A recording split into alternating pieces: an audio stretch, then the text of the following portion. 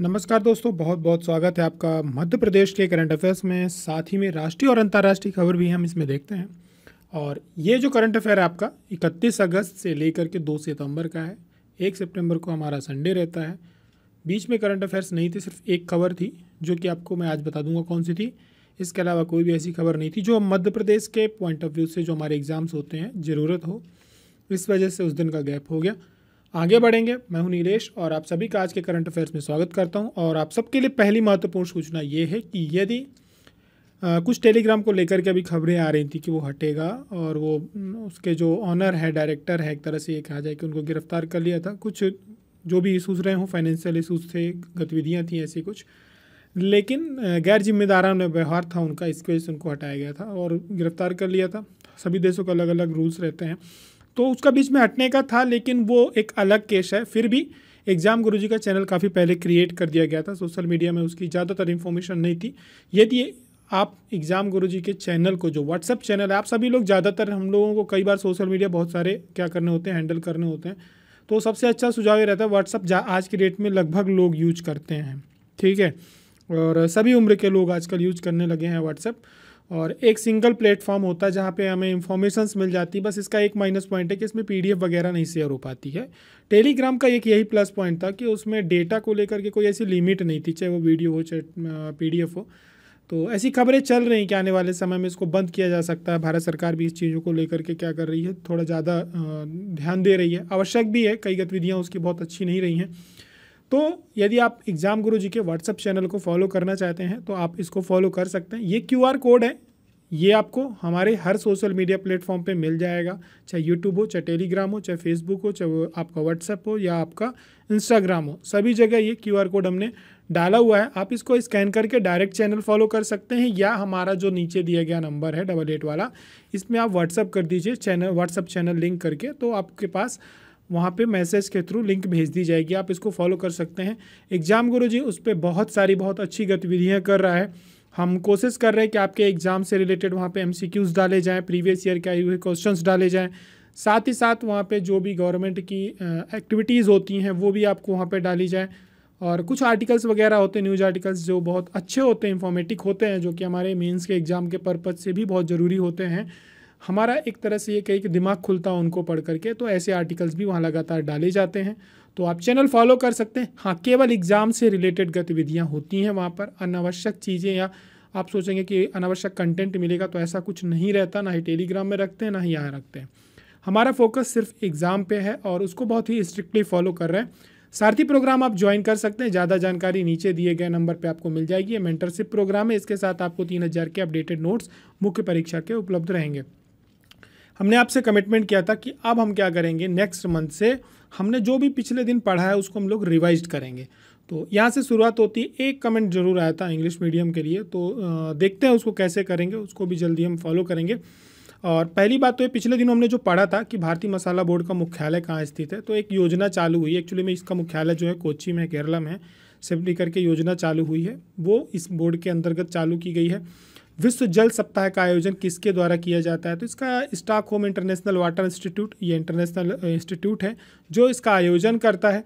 Railway board के अध्यक्ष और मुख्य कार्यकारी अधिकारी के रूप में पहली महिला कौन है नियुक्त होने वाली? तो वो जया वर्मा सिन्हा है। सतीश जी की अभी नियुक्ति हुई है इसमें, इस वजह से वो क्या थे? खबरों में बने हुए थे। अभी हाल ही में मध्य प्रदेश सरकार के द्वारा खेलों और बढ़ो योजना अभियान चलाया जाएगा, जो कि मध्य प्रदेश खेल एवं युवा कल्याण विभाग के द्वारा चलाया जाएगा। वरुण वाडोरिया हैं। इन्होंने अफ्रीका की सबसे ऊँची चोटी माउंट किलिमजारो सफलतापूर्वक चढ़ाई की है और अच्छी बात यह है कि ये मध्य प्रदेश शासन के टूरिज़्म बोर्ड में क्या है, कार्यरत हैं। राष्ट्रीय शिक्षक पुरस्कार, प्रदेश के कितने शिक्षकों को सम्मानित किया गया है? तो दो लोगों को मध्य प्रदेश के, जो कि दोनों के दोनों आईटीआई कॉलेज से संबंध रखते हैं। इस वर्ष का राष्ट्रीय स्तर का शिक्षक पुरस्कार मिला है। पाँच सितंबर को ये दिया जाएगा। शुरुआत करेंगे आज के करंट अफेयर्स की लखेरा लेखरा ने पेरिस पैरा ओलंपिक में किस स्पर्धा में, प्रतिस्पर्धा में स्वर्ण पदक क्या किया है, जीता है? तो देखिए इन्होंने 10 metre air rifle standing S one स्पर्धा में इन्होंने क्या जीता है, गोल्ड जीता है। और अवनी लगातार पेरिस मतलब हमारे जो पैरा ओलंपिक होते हैं उनमें अच्छा प्रदर्शन कर रही वैश्विक स्तर के जितने भी पैरा गेम्स होते हैं, उसमें इनका प्रदर्शन बहुत ही अच्छा होता है। और अवनी लखेरा ने इन्होंने क्या किया है कि अभी पेरिस का जो पैरा ओलंपिक होता है, वहाँ पे महिलाओं में 10 मीटर एयर राइफल में, शूटिंग में इन्होंने गोल्ड जीता है और अच्छे खासे पॉइंट हासिल किए हैं। इन्होंने 249 के पॉइंट हासिल किए हैं और साथ में दूसरे नंबर पे यूनरी ली रही हैं।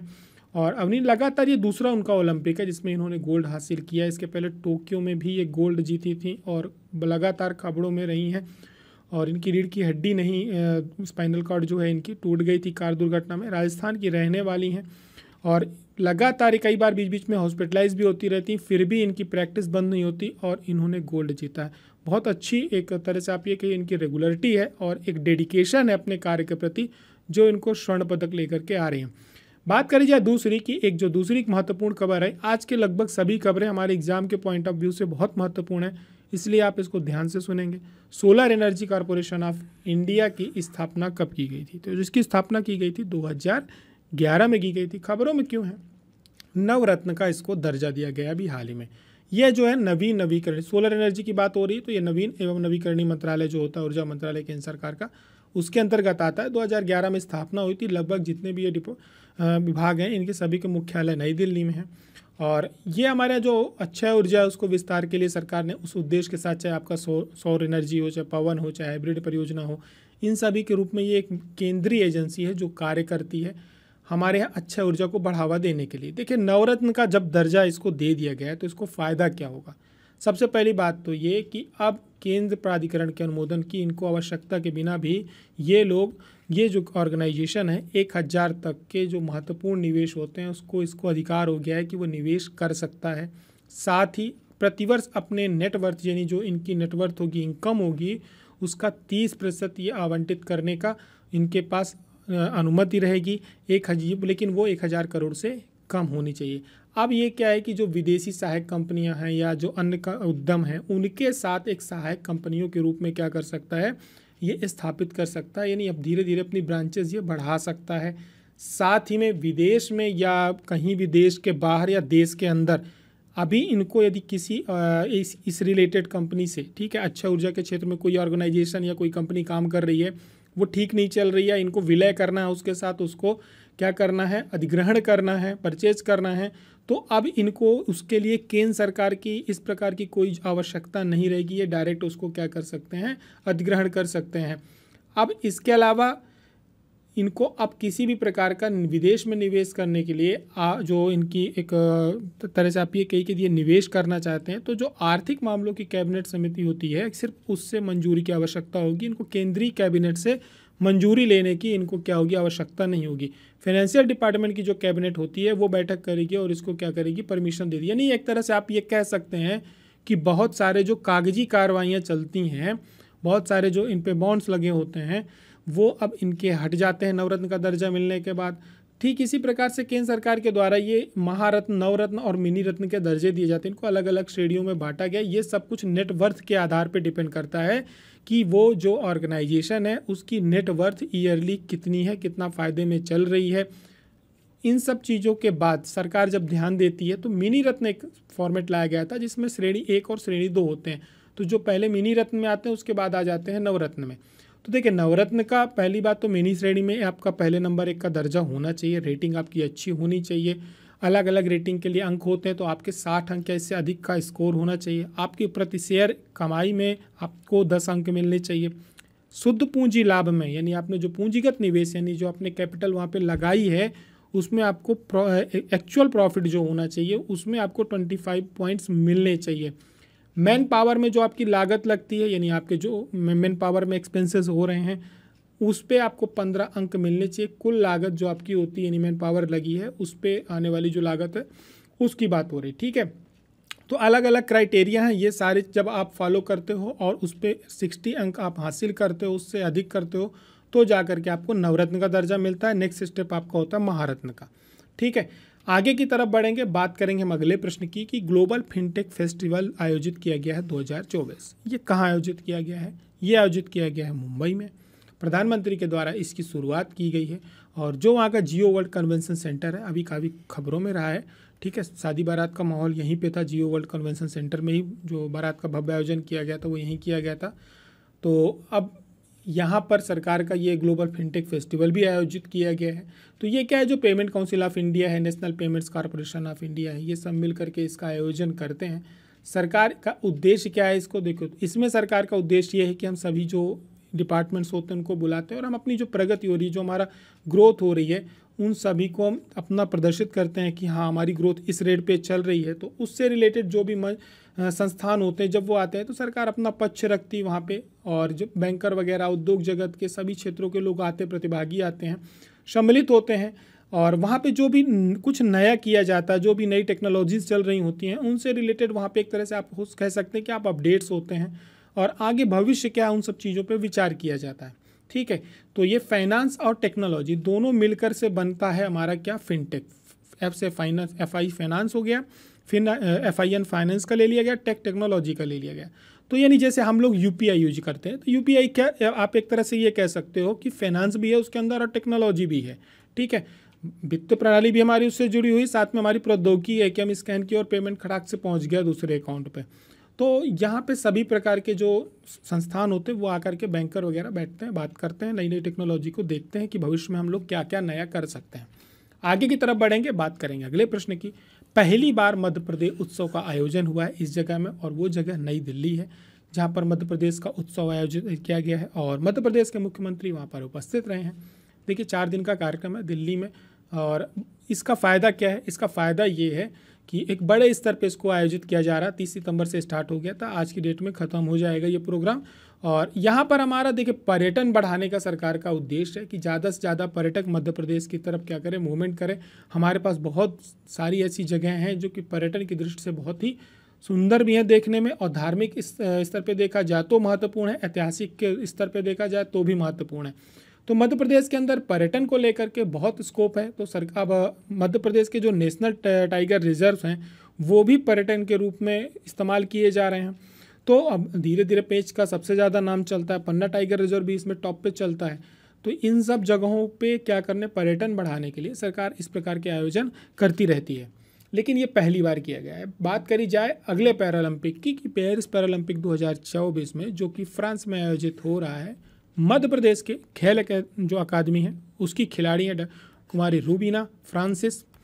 इन्होंने कौन सा पदक जीता? ये लगातार खबरों में बनी रहती हैं। जबलपुर की रहने वाली हैं, कांस्य पदक इन्होंने जीता है और इन्होंने इतिहास रचा है क्योंकि ये मध्य प्रदेश की पहली महिला खिलाड़ी हैं जिन्होंने पैरालंपिक में कोई पदक जीता है।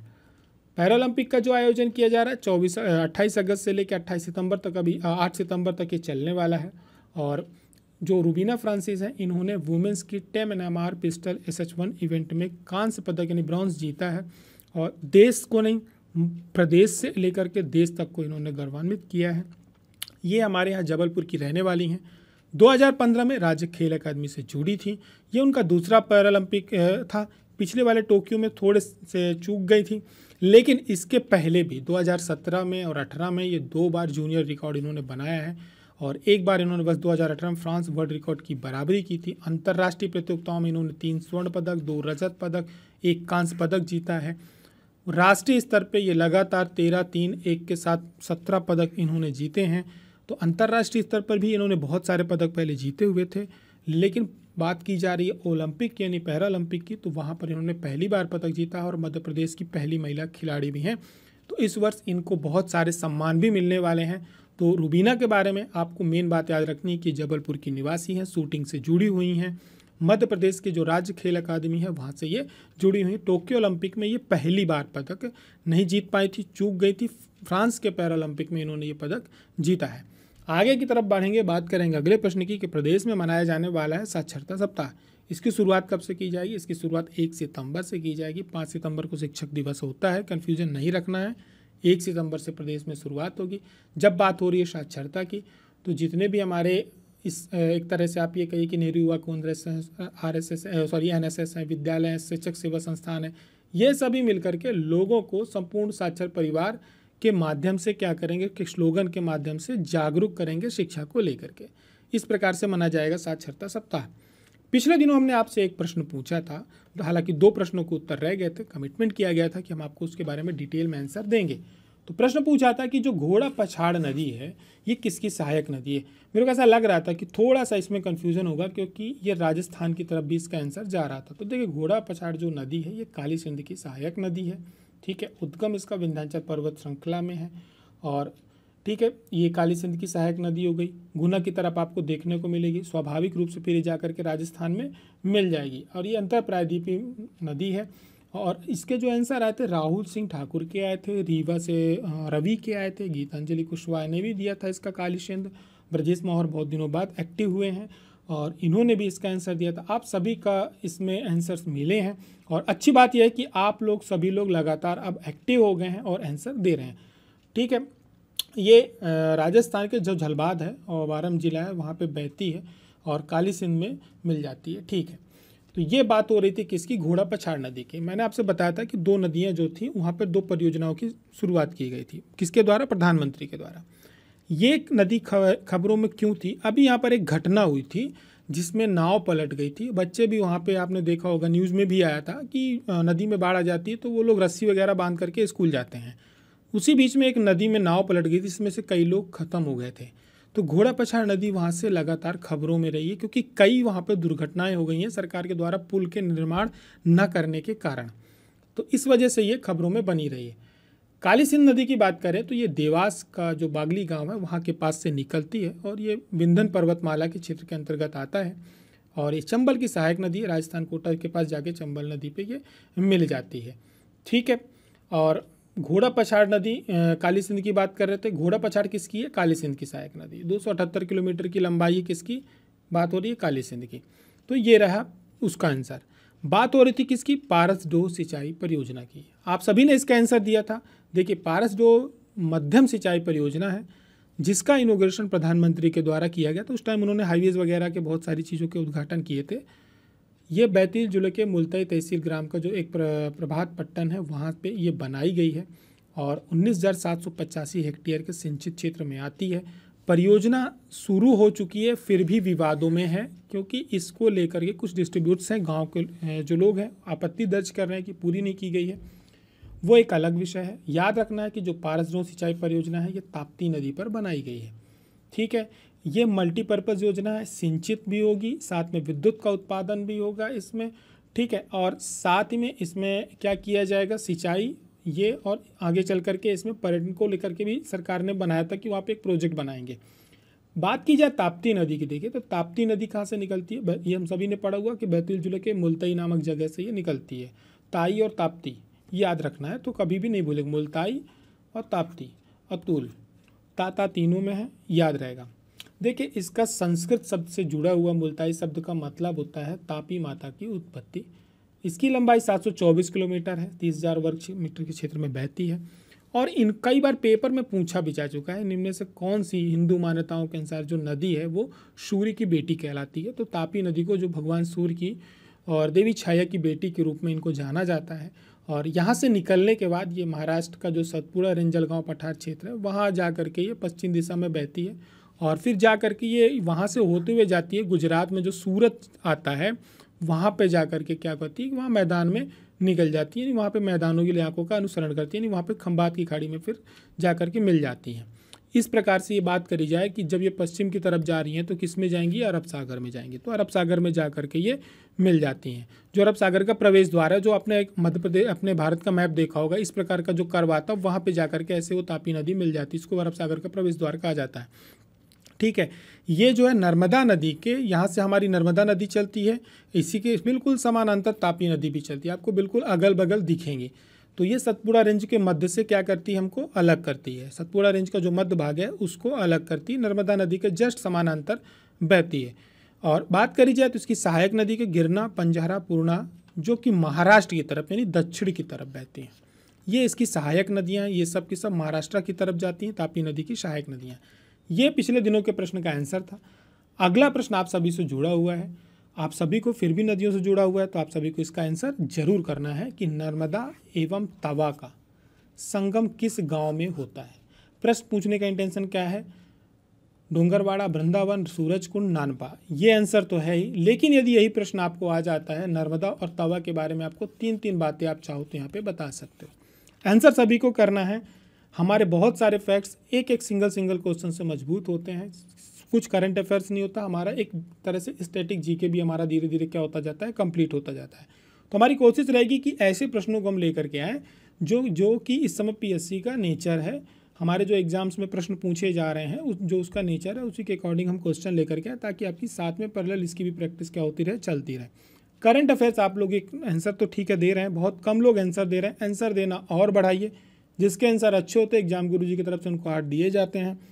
करंट अफेयर्स पूरी ज़िम्मेदारी के साथ शेयर करिए। हम जा करके बहुत ही कम अंकों में फिर से टिक जा रहे हैं। हमें करंट अफेयर्स की व्यूज़ को धीरे धीरे क्या करना है, बढ़ाना है। मेहनत करते हैं तो हमें भी थोड़ा सा आपसे क्या होता है रिस्पॉन्स की नीड होती है।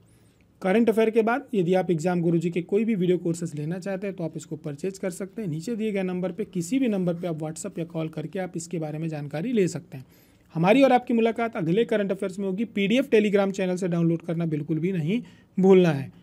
तब तक के लिए अपनी पढ़ाई चालू करके रखिए। जय हिंद, जय भारत।